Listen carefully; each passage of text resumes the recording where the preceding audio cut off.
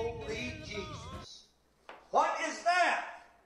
What the fuck is that? What is that, Private Pyle? Oh my god! Oh Jesus! Oh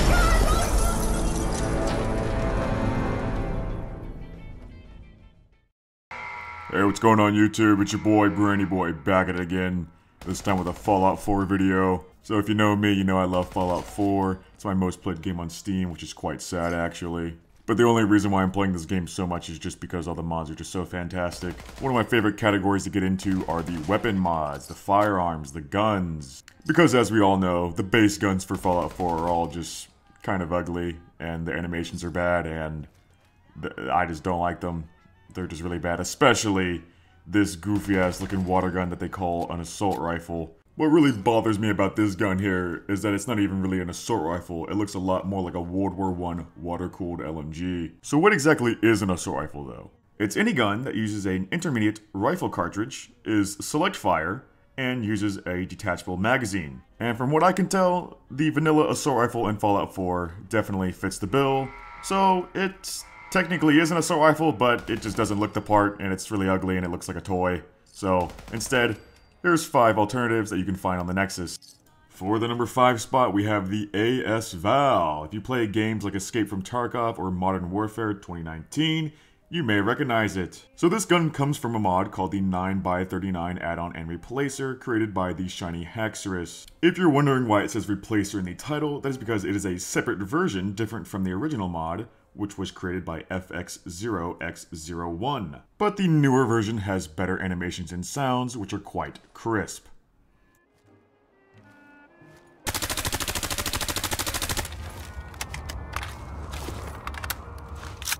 Additionally, this weapon mod also comes with a decent amount of attachments. You can extend your magazine from 20 to 30, and there's plenty of sights to choose from, as well as there's a flashlight, two lasers, two foregrips, but there's no choice for a barrel or a stock. So for a little bit about this weapon's real-life counterpart, it was created in 1987 by the Soviet Union, and it was designed around the new 9x39 subsonic ammunition. This mod here, of course, adds that ammo into the game seamlessly through the leveled list. It also adds in its sister weapon, the VSS Vintorez, which is basically the same gun but semi-auto, so it is used for situations which require extreme precision. Obviously, these weapons have integral suppressors to take advantage of that special subsonic ammunition, so that's probably why there's no option to remove the suppressor or change the barrel in-game.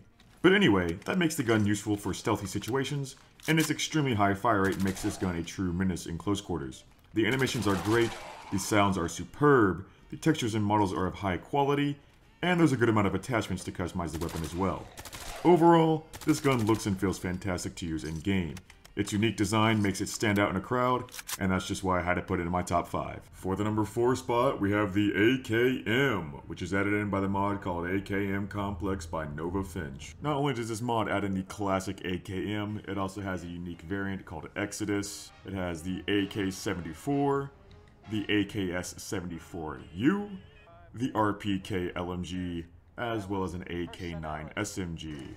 Easily the best part about this mod has got to be the attachments. After all, this mod is called the AKM Complex, so that means there's plenty of parts from all different types of AKs that you can mix and match together. In the receivers section, we have an option to take off the dust cover and expose the recoil spring, which does look pretty cool. And of course, there's a whole bunch of different barrels you can choose from. You can go from short, long, medium, extra long. In the grip section, we've got four different options here. We got the rudimentary, we got the classic, and we got two more that look a little bit more modernized. When it comes to the magazines, we have a bunch of different options and conversion kits so we can actually change how the gun completely functions. You can use the classic 7.62, the 5.45, or even use 5.56 if you're a dirty capitalist. There's even an option for 4.58 SOCOM, which I've never even seen an AK have, but that would be kind of cool. And we can even take this bad boy out of the assault rifle class and turn it into an SMG with a 9mm or the 7.62 Tokarev. Of course, I would recommend using the mod New Calibers and its patch for this gun so that the ammo types are properly used and they're properly distributed throughout the Commonwealth. Other than that, there's still plenty more attachments to go. We got plenty of different suppressors and muzzle brakes, the option for a flashlight or a laser, and a wide variety of stocks as well. And overall, the animations and the sounds are pretty dang good.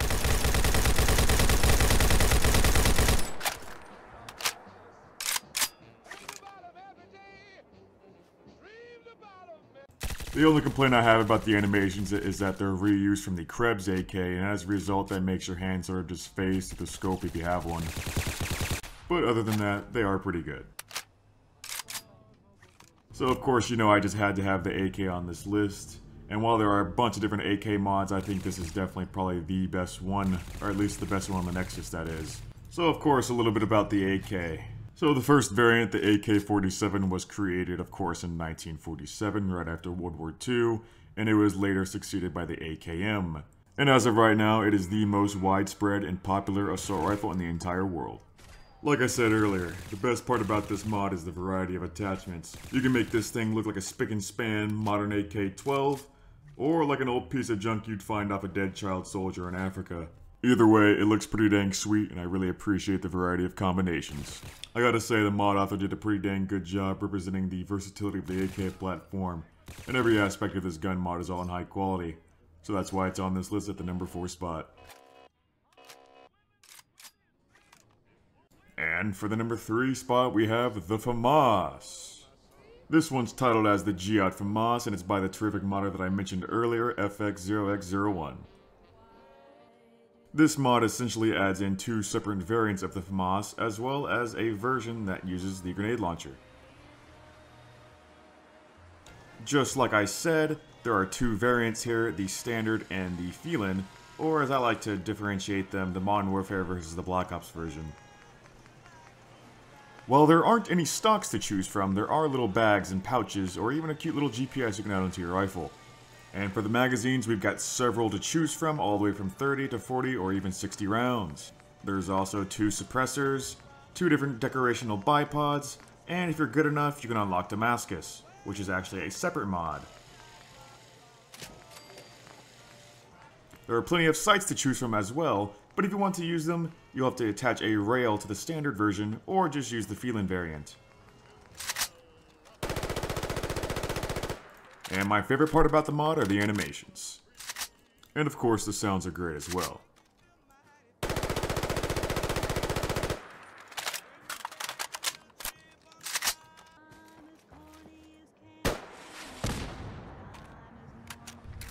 So the FAMAS is a French bullpup assault rifle which went into service in 1978 and has become popular because of its unique silhouette. It uses the 5.56 cartridge and has a rather fast fire rate making it another deadly tool in close quarters. Of course, many people are also familiar with it as a burst fire weapon, but this mod does not integrate that, and why would it? Burst fire is cringe. Anyway, I'm glad this mod introduces the FELIN variant because in my opinion, I find it much more appealing. The models, the textures, the sounds, the animations, you name it. Everything about this gun is just phenomenal and it's super duper fun to shoot with. The only complaint I have is that the grenade launcher is its own weapon and it cannot be easily switched between grenades or regular ammo, but I blame that on Bethesda's part. Overall, this weapon is extremely aesthetic, and it is quite the sight to see with that Damascus camo added on. And just like I said earlier, the animations on this one are just absolutely fantastic, so I had no choice. This one definitely deserves to be in the top 5.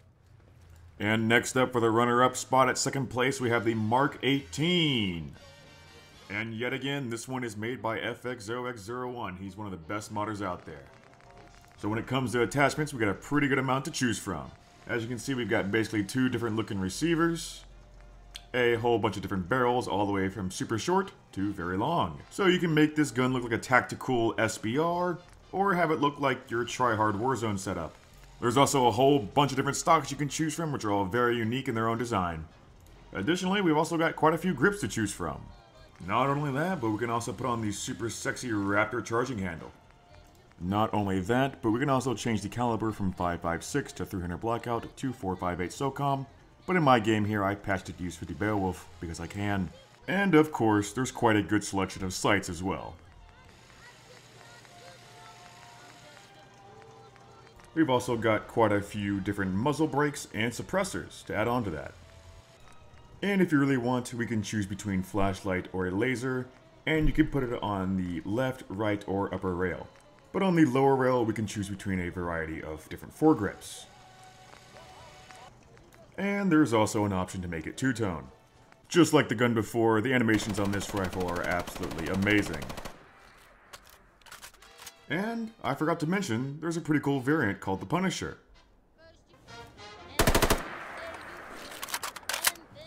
So this rifle is more colloquially known as the M4, but the Mark 18 is a specific version which has attachments suited for close quarters. But like I showed y'all earlier, you can still put on a long barrel for long range engagements. So this rifle is a part of the AR-15 family, which was originally created in 1964. The first military variant was known as the M16, which later evolved into the M4, and now we have the more recent Mark 18. This rifle uses the 5.56 cartridge, and its modularity and moderately high fire rate makes it a useful weapon in any situation. So in case you didn't notice yet, these animations are absolutely orgasmic. And they are based off of the Modern Warfare animations, but in my opinion, they look even better.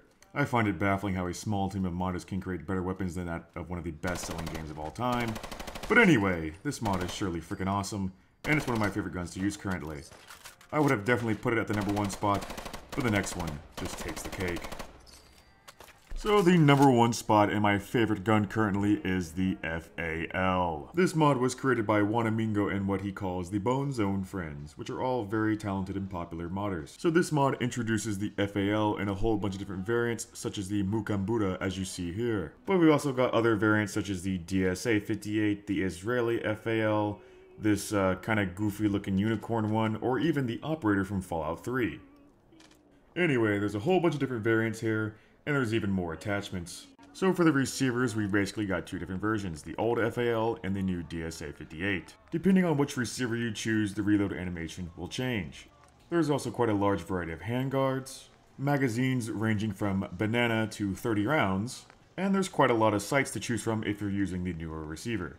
There's also an a plethora of muzzle attachments, whether that be suppressors or muzzle brakes, and three main types of pistol grips. You can also change it up between a short or a long barrel, add on a decorative bipod if you want, or maybe even add on a cool looking carry handle. In addition, there's also many different camos and materials which you can find on the unique variants. You can also change up the stocks and even use a folding stock which does have a unique animation. And if you're using a handguard with a rail on it, you can add on a flashlight, a laser, or foregrip. And when it comes to animations, no surprise here, these are superb. And of course, that reload is extremely crisp.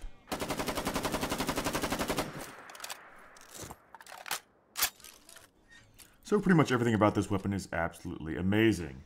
The animations, the sounds, the textures, the models, the customization, the unique variants, just everything you can think of, it's got it. This mod is absolutely fantastic, and I absolutely love all the modders that made it. Another thing that's included in this mod is a location called the Bone Zone, in which the Bone Zone friends are all located, and you can go and slaughter them all with your new FAL. And this is where you can also get some of the unique variants. So anyway, a little bit more about the FAL itself. It is a Belgian-made weapon, originally designed in 1953, and it uses the 7.62x51 NATO cartridge, which makes it a hard hitter and useful for medium to long range. Throughout the Cold War era, it saw extensive use by dozens of countries from Europe to the Middle East and even to Africa. Because of its use by NATO countries to fight against communism, it gained the title Right Arm of the Free World, and it is easily one of the most recognizable rifles on the planet. Sadly, it was never adopted by the US, and neither is it represented that well in video games. Modern Warfare especially has absolutely shafted this weapon and locked it as an exclusive semi-auto for some reason, so I'm glad to see this mod team made the FAL in its fully automatic glory. My favorite version is the DSA 58. With all its modernized attachments, it looks quite aesthetic and tactical. And it's probably the most satisfying gun to shoot when it comes to Fallout 4 mods. Overall, this is currently my favorite assault rifle for Fallout 4, and this mod certainly does the FAL some much needed justice when it comes to video games. Anyway, that's my top 5 assault rifle mods for Fallout. If you guys liked the video, please like, share, subscribe, and all that good stuff. If the video does good, I just may have to make some more of these mod videos. So uh, that's it for now. Uh, see you later.